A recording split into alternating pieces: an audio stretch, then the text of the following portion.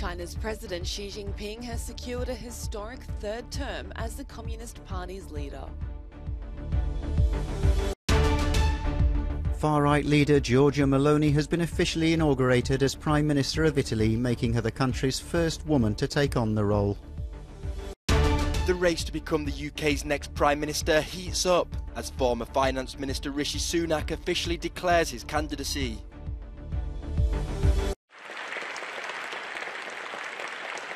China's President Xi Jinping is now all but certain to sail through to a third term as the country's leader. Re elected head of the Communist Party and cementing his place as the nation's most influential ruler since Mao Zedong. On behalf of the CPC New Central leadership, Xi says, I wish to thank the whole party sincerely for the trust you have placed in us. We'll keep in mind the party's nature, our own mission and responsibility, and work diligently in the performance of our duties. Appointing Xi as its General Secretary for a precedent breaking five year term tilts the country decisively back towards one man rule after decades of power sharing among its elites. The CCP also named a seven member Politburo standing committee led by Xi, an inner circle of power dominated by the party's allies. He will be formally announced president during the government's annual legislative sessions in March. A new era in Italian politics has opened up as Prime Minister Giorgia Meloni joined former PM Mario Draghi at the Palazzo Chigi in Rome for the traditional bell ringing ceremony. The event signifies a handover of power, in this case from a technocrat government to the most far right coalition since the end of the Second World War. Meloni is also the first female Prime Minister in the 76 year old history of the Italian Republic. European Union chiefs are wary of the far right taking power, but say they're ready to cooperate with the new coalition government, while Meloni says she's ready to work with the bloc's leaders. On Saturday, the new coalition was sworn into power by Italian President Sergio Mattarella. Although Meloni's post-fascist Brothers of Italy party won the recent election, in order to govern, they need the support of former Premier Silvio Berlusconi's Forza Italia and the far-right League led by Matteo Salvini. Former UK Finance Minister Rishi Sunak has officially confirmed he will run in the Conservative Party leadership contest in what will be his second shot in three months at becoming Prime Minister. Sunak, who reportedly has the support of over 120 MPs, said in a tweet that he would work to fix the economy and unite a fractured Tory party. Former Prime Minister Boris Johnson looks likely to be Sunak's main challenger. He's yet to formally join the race, but close allies claim he already has enough support to make the ballot. British media has reported that Sunak held talks with Johnson on Saturday, fueling speculation the pair could strike a deal to unite the party. Former Cabinet Minister Penny Mordaunt was the first candidate to declare her leadership bid on Friday. She fell just short of making the final two in the previous leadership election, despite receiving strong support from colleagues. Candidates must secure 100 nominations by Monday afternoon. If two or more reach that threshold, lawmakers will vote to eliminate one and hold an indicative vote on the final two. Russian officials said on Saturday that two people were killed and 12 wounded by Ukrainian shelling in the town of Shebekino in the Belgorod region close to the border. The regional health minister said one of the dead was a 14-year-old boy. The town has now started building protective structures according to the local governor who posted images on social media. Meanwhile in the south, pro-Russian authorities in Kherson are continuing to urge residents to leave in the face of Kyiv's advancing counter-offensive. Observers expect fierce clashes to take place in and around the city as both sides battle for control.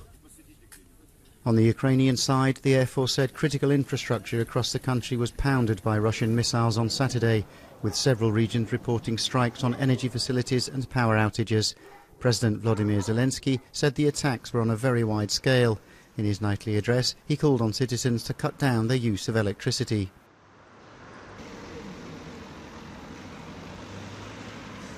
Основна мішень терористів енергетика.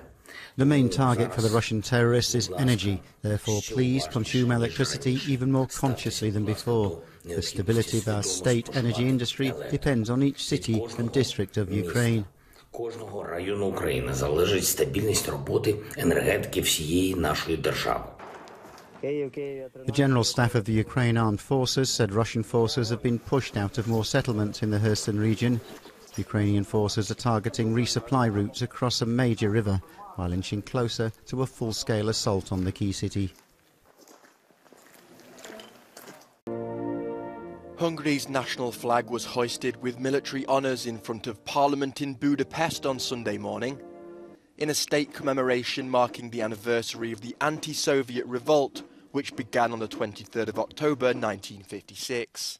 Children explored vehicles which remain intact from 66 years ago, when protests which began as peaceful student-led movements quickly transformed into an armed, country-wide revolution, known as the Hungarian Uprising, against the communist dictatorship and the Soviet occupation. Soviet tanks moved onto the streets to restore order, an estimated 2,500 Hungarians died and hundreds of thousands fled. Prime Minister Viktor Orban addressed crowds in western Hungary. In his speech, Orban lauded the nationwide resistance efforts, but didn't pass up the opportunity to hit out at those on the left, who he said looked down on people from the countryside and resented the fact commemorations were taking place outside the capital. The ceremony was attended by President Katalin Novak, military officials, as well as members of the public. A Russian warplane crashed into a two story residential building that housed two families in Irkutsk, a city in eastern Siberia.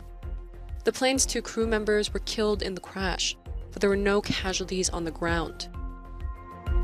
This is the 11th reported non combat crash of a Russian warplane since Moscow invaded Ukraine.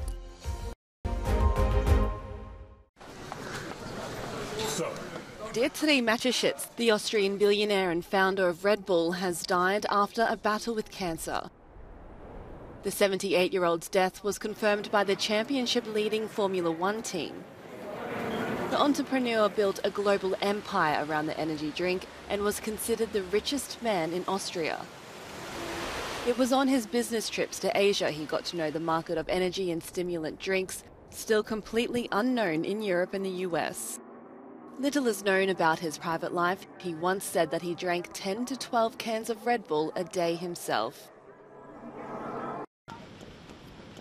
Sun, the beach, and energy savings. The Spanish town of Benidorm in the so called Costa Blanca has long been a popular destination for people from all over Europe, but now it is also the place to save on high energy bills, thanks to its mild climate. It's cheaper to stay here than in the Netherlands. It's much colder there. You have to turn on the heating and you have to pay the energy company for that. You have to be crazy to stay in the Netherlands. Here, you can enjoy the money you would otherwise spend on gas and electricity. The tourism sector is eyeing up the opportunity to increase the number of foreigners coming to the region. In some cases, it only costs around 50 euros to spend one night in a hotel in the low season. And flats are also getting more bookings. Most tenants come from the north of Europe Norway, Sweden, the Netherlands, Germany. It's clear why. All these people would otherwise lose a lot of money to heat their homes. We do not have that need in the south of Europe. The EU has accepted Spain's so called Iberian exception, which gives the region the ability to decouple the price of gas from electricity for a year.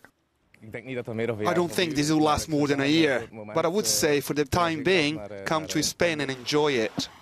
The option could cut customers' energy bills by up to 50%.